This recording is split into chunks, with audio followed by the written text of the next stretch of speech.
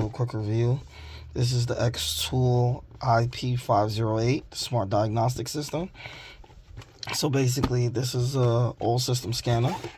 So basically, comes in this box, comes with the VGA cable, USB cable, the tablet, the charger for the tablet, uh, the USA adapter charger, European charger, and the EN adapter. Then we have the carton, which is in the packing list, which this is the packing list, and the quick guide.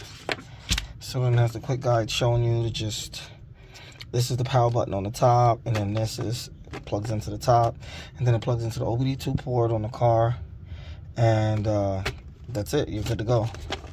Once you plug it up to the car. This is the device. Right now. The IP508 Smart Diagnostic System. Okay. This one's very affordable. This is what it looks like. This is what the side looks like. Bottom. This is where the USB plugs in. This is where the VGA cable plugs in. This to plug into the OBD2 port. This is the charging port. And then this is the power to power it on. So I'm going to put that to the side. This is the bag. It comes in this bag, but I already took it out. Okay. We have cable here. This end plugs into the top here. And then this goes in the OBD2 port on your car. Okay. Then we have here, we have the Euro socket and adapters that are needed in order to charge it. Then we have the USB cable, which is right here. And that's it. This is all that comes with it. Okay, so now I'm going to power it on and kind of show you guys a couple of the little features that it has. Okay, so hold the power button down.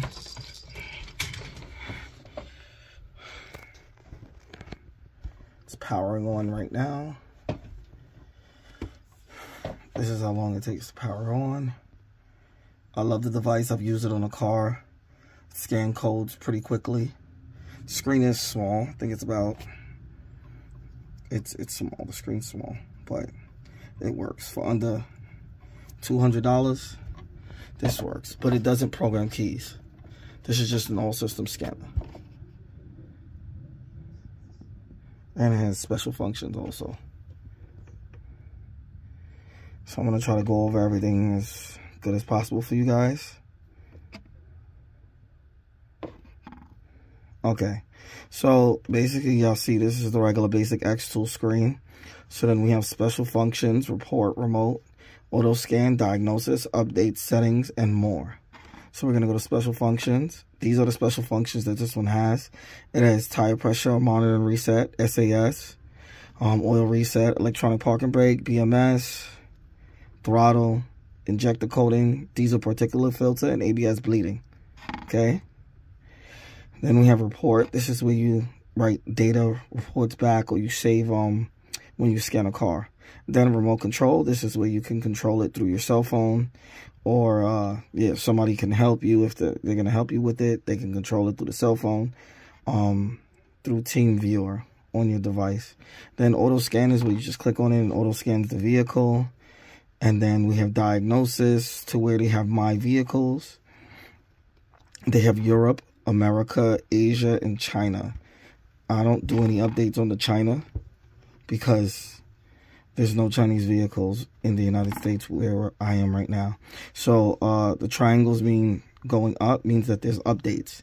That's what those means. The triangles up. Yeah, it's updates. Okay, American. This is kind of put my vehicles. This is all the European vehicles that it has. Then this is the American vehicles here. Then we have the Asian vehicles. And then we have the Chinese vehicles here. Okay. Um, okay, then we have updates. This is where we can do updates. It tells you the date and time that the updates did come out. Um, and then you just click on here to update it. But most of these cars, I don't even see. And I'm not doing no scan on no Maybach or anything like that. I don't ever see those cars. Ferraris and all that stuff. It's like once in a blue. Uh, yeah. Okay, so moving on. We're going to go to settings. So, then we have different languages. They have a lot of different languages here. Okay, then we have the unit metric, units, imperial units, and US units. Then we have workshop information. You can put your company name, address, everything here. Firmware information. Um, we can go to the current firmware version.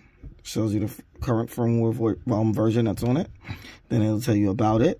This is the app the IP 508S00203, the VCI, everything, all that information, okay? Then we have more.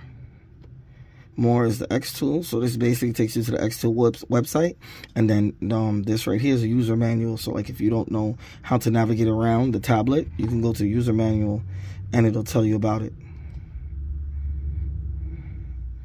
on how to navigate it.